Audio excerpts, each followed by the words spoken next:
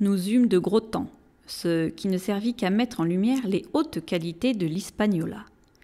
Tout le monde à bord semblait content, et il aurait fallu être difficile pour ne pas se déclarer satisfait. Car je crois bien qu'on n'a jamais gâté un équipage à ce point depuis le temps où Noé s'embarqua. Au moindre prétexte, on doublait la ration d'eau de vie.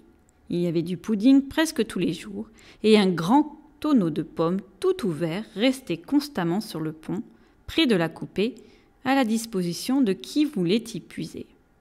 Mauvais système, disait le capitaine au docteur Livesey. Gâtez les gens de l'avant et vous en ferez des tigres. Voilà mon opinion. Mais le capitaine se trompait sur ce point, et le tonneau de pommes servit à quelque chose. Car sans, sans ce bienheureux tonneau, nous aurions tous péri, victimes de la trahison la plus odieuse.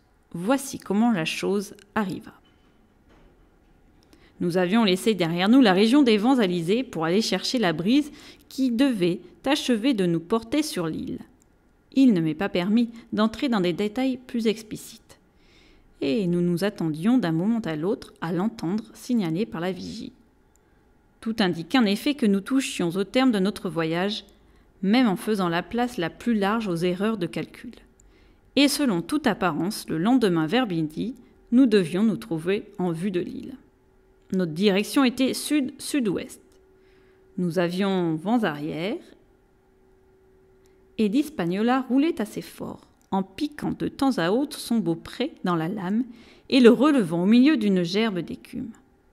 Et chacun était content de voir comment elle filait toute voile dehors, et de se dire que nous allions enfin passer à la partie sérieuse de nos opérations. Il advint qu'après le coucher du soleil, comme je rentrais dans ma cabine après avoir terminé mon ouvrage, l'envie me prit de croquer une pomme. Je montai sur le pont. Les hommes de quart étaient tous sur l'avant, cherchant à découvrir l'île. Celui qui tenait la barre regardait en l'air en sifflotant dans ses dents. C'était le seul bruit qu'on entendit, avec le gazouillement de l'eau des deux côtés du couple-âme. Le tonneau se trouvait presque vide.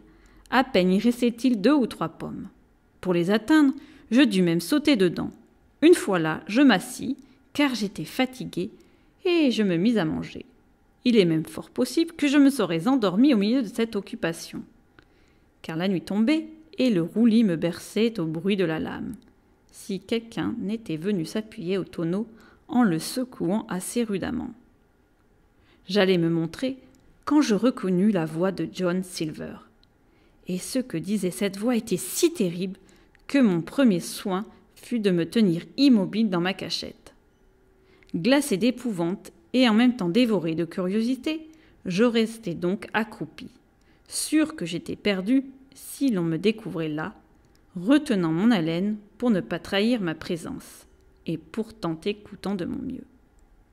Car de moi seul désormais dépendait la vie de tout ce qu'il y avait d'honnête à bord.